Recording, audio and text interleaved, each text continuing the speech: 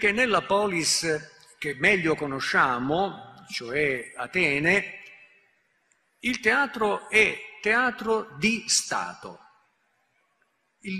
L'attore, l'autore non deve conquistare il pubblico, il pubblico è assicurato dal fatto stesso che è la città il committente e la rappresentazione teatrale fa parte di un meccanismo inerente al funzionamento della città. Le Dionisie, le Lenee, eh, a gennaio le Lenee, ad aprile le Dionisie di ogni anno sono l'occasione nella quale un gruppo ristretto di autori selezionati nel modo che ora dirò mettono in scena dinanzi alla città tutta quanta la loro produzione. Mentre le sedi decisionali, l'assemblea innanzitutto, sono relativamente popolate, c'è un assenteismo abbastanza pronunciato, abbiamo qualche testimonianza, sappiamo per esempio che un'assemblea di 5.000 persone presenti era già un'eccezione, era un momento alto, rispetto a una popolazione maschile di condizione libera, di, di cittadinanza piena, di 30.000. Quindi è una piccola parte del corpo civico che va all'assemblea, laddove al teatro, nei limiti fisici degli spazi disponibili, ci sono tutti. Nel simposio platonico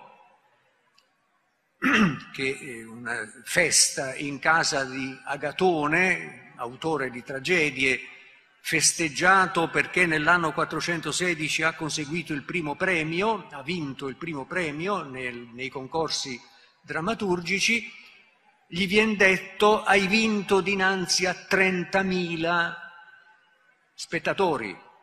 Difficile che nello spazio del teatro di Dioniso ci fossero 30.000 posti, però è una cifra che vuol dire una partecipazione straordinaria, tanto più che nelle Dionisie, cioè nelle grandi feste, le più solenni, le più ufficiali, anche i non ateniesi assistevano agli spettacoli.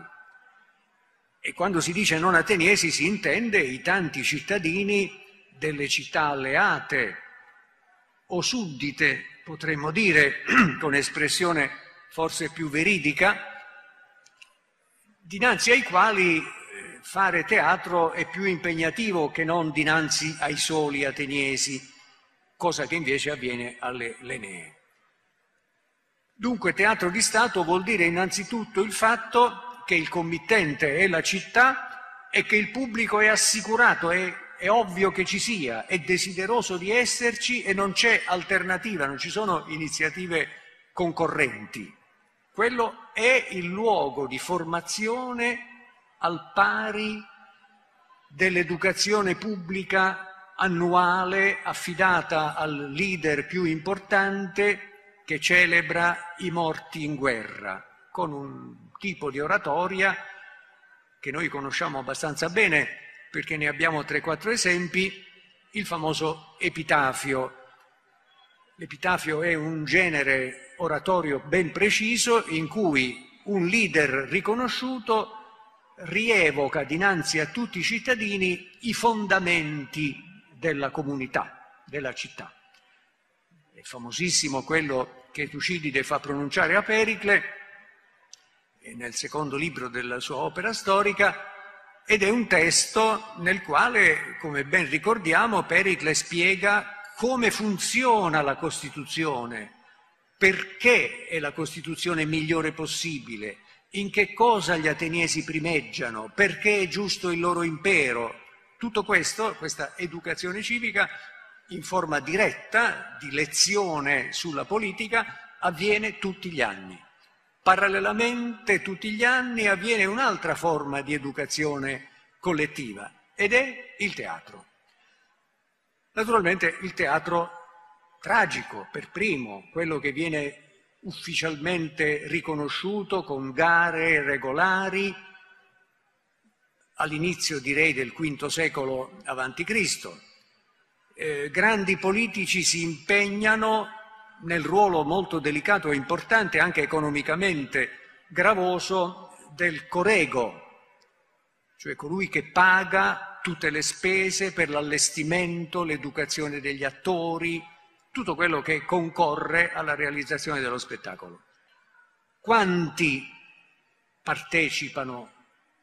C'è una selezione e anche questo è un aspetto che dimostra quanto quell'attività sia un'attività statale, perché sono gli arconti, cioè la massima magistratura civile, che hanno il diritto di farsi mostrare il canovaccio probabilmente, e scelgono e, come dice la formula greca, danno il coro, concedono il coro.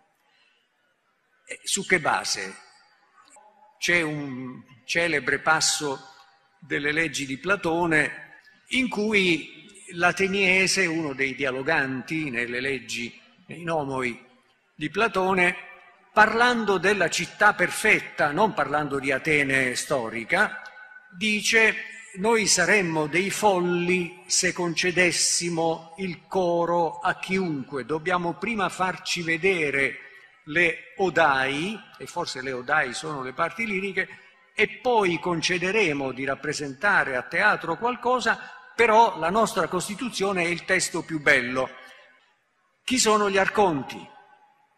Gli arconti sono l'unica magistratura non retribuita nella città di Atene e quindi sono tendenzialmente persone benestanti, che non hanno bisogno del mistos, del salario, appartengono ai ceti alti. E quindi la selezione di cosa mandare sulla scena, diciamo un po' semplificando, è affidata ad una elite che è anche un'elite politico-economica, il che determina inevitabilmente scelte che possiamo soltanto intravedere, ma sicuramente orientate. Perché è importante? Stiamo parlando ancora del teatro tragico, non abbiamo ancora affrontato l'altra faccia del problema, teatro comico che viene accettato ufficialmente, inserito nei concorsi più tardi. È importante nonostante apparentemente tratti una materia remota, mitica. Il tema che viene portato sulla scena è cavato dal mito, direi di più, da miti ben noti. La, lo spettatore in certo senso è già preparato perché la materia che viene messa sulla scena gli è familiare, tante volte viene riproposta di anno in anno dai più diversi autori, con variazioni molteplici. Il fatto che il mito, che è come dire il corpus eh, religioso, chiamiamolo così con un termine improprio, non è definito dentro cancelli rigidi, non c'è un'unica versione di esso. Euripide, Eschilo e tanti altri di cui non abbiamo l'opera attingono a questo patrimonio ma lo modificano, lo presentano in forme specifiche, è un mito aperto. Ma anche per un'altra ragione, che queste variazioni introdotte sono altrettanti messaggi, altrettante comunicazioni appena cifrate, appena velate, parlano dell'attualità attraverso il mito. È un problema vivente, nella discussione politica vivente. Noi leggiamo nell'epitafio di Pericle che ho prima ricordato verso l'inizio, quella tirata celeberrima in cui Pericle dice che la nostra città è unica come esempio di convivenza perché il ricco e il povero dinanzi alla legge scritta sono uguali. Però poi aggiunge la violazione della legge non scritta reca vergogna universalmente riconosciuta. Mm? Quindi si coglie benissimo in quella pagina periclea Tucididea la dialettica tra la legge scritta come cardine della democrazia perché tutti possono riferirsi ad essa e però l'esistenza di norme che la trascendono. Ora queste norme però sono affidate alla cura di una casta sacerdotale, i Keriukes, e questo è un elemento inquietante per la città democratica. Questo vuol dire che Sofocle, portando in scena l'episodio di Antigone, che appartiene al ciclo tebano, che tutti conoscono, Eteocle, Polinice, la sepoltura, Creonte, cattivissimo, inserisce un elemento che è un elemento pertinente al presente, all'oggi. Tutt'altro discorso potremmo dire si pone per la commedia. La commedia nasce in forme che ora è inutile definire con precisione, ma certamente ha una genesi popolare, popolarissima, scherzosa, eh, volgarissima, però nell'età di Pericle e soprattutto nei trent'anni della guerra del Peloponneso, quindi dagli anni 40 del V secolo fino alla caduta di Atene nel 404, ha una vitalità letteraria fortissima, grandi nomi, tutti all'opposizione.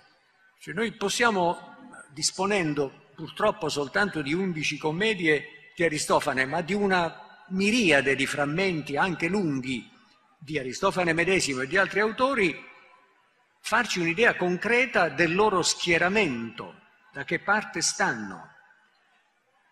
E questo credo si spieghi molto bene con un rapporto di clientela, di vera e propria clientela degli autori comici che sono di estrazione bassa socialmente rispetto a chi dà il coro. Questo, stato, questo fenomeno è stato studiato, è stato anche contestato, spesso gli studiosi non si rassegnano ad avere una visione non euforica, non oleografica della realtà antica, ma i dati disponibili sono piuttosto chiari.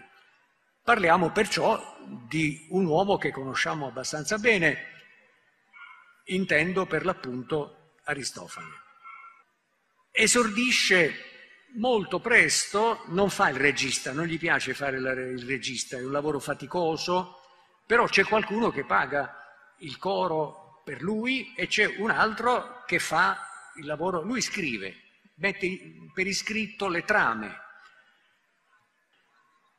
Esordisce politicamente con una eh, commedia che va eh, sulla scena, pare abbia avuto anche il primo premio o comunque è stata premiata, tra i primi tre, babilonesi. Siamo nel 426, lui ha 19 anni, 20 anni al massimo,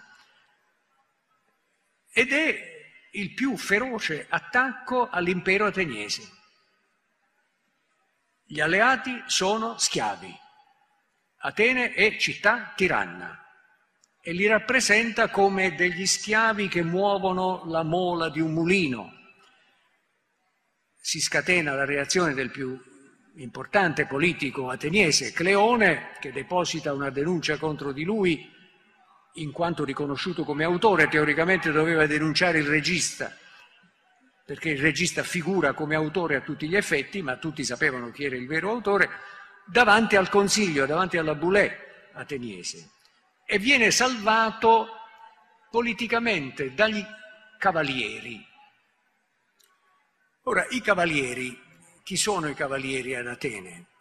Sono contemporaneamente una classe di censo, la più alta insieme ai pentacosiomidimni, insomma le persone più ricche, e sono anche mille militari, un corpo di elite potremmo dire, che ha un cavallo lo cura, eccetera, fanno delle manifestazioni puramente eh, estetiche, perché Atene non ha mai fatto una battaglia con la cavalleria, e sono in sostanza i garanti della conservazione. Erano odiati. Dice Senofonte in un passo delle Elleniche che quando furono chiesti agli ateniesi dei contingenti militari da impiegare in Asia al tempo della guerra di Agesilao in Asia, gli ateniesi mandarono 300 cavalieri sperando che crepassero, perché così in quella guerra ci lasciavano la pelle. 300 su 1000 è già un be- una bella porzione. E noi sappiamo dalle fonti storiografiche che in entrambe le oligarchie, quella del 411, quella del 404-3, la cavalleria è il pilastro del regime. Allora il fatto che Aristofane venga salvato dai cavalieri contro Cleone è un indizio evidente di qual è la committenza per la quale lui lavora. Ma la cosa ha un seguito. Dopo essere riuscito a farla franca rispetto a questa denuncia, Aristofane mette in scena gli Acarnesi. Gli Acarnesi sono gli abitanti del Demo di Acarne, no? Atene è uno stato regionale, non è una città-stato come di solito si dice, è uno stato regionale in cui c'è un agglomerato urbano centrale molto importante dove ci sono i palazzi del potere, dove c'è una popolazione più attiva economicamente, commerci, meteci, eccetera, e poi ci sono i vari borghi che sono dei comuni, no? il vecchio Droysen diceva Kommunalverfassung, una costituzione comunale, a carne da sola fornisce 3.000 opliti all'esercito, il che vuol dire che è un borgo consistente. Gli acarnesi nella commedia eh, sono dei democratici a 18 carati contro cui il cittadino giusto, dice Opoli, si, si contrappone perché vuole la pace subito, la pace con Sparta la richiesta di smettere la guerra con Sparta è la richiesta tipica dell'oligarchia, che non sopporta il fatto che Pericle abbia portato Atene alla guerra contro la principale città capofila di tutte le oligarchie. Quindi il contadino di Ceopoli vuole quello che vogliono i cavalieri, quello che vogliono gli oligarchi. E nella commedia, che ovviamente ha dei punti estremamente efficaci, per incidence anche una presa in giro di Euripide molto pungente. In corso di questa commedia il contadino di Ceopoli stipula una pace separata con Sparta, sua personale, cioè la città è in guerra, ma lui fa pace con Sparta. Sembra un gioco, sembra uno scherzo, ma sono gli anni in cui gruppi politici premono andando a trattare separatamente di nascosto con Sparta affinché si arrivi ad un compromesso. Quindi la trovata comica di questa pace personale del contadino di Ceopoli è una raffigurazione grottesca di qualche cosa che politicamente esiste e ha un certo peso.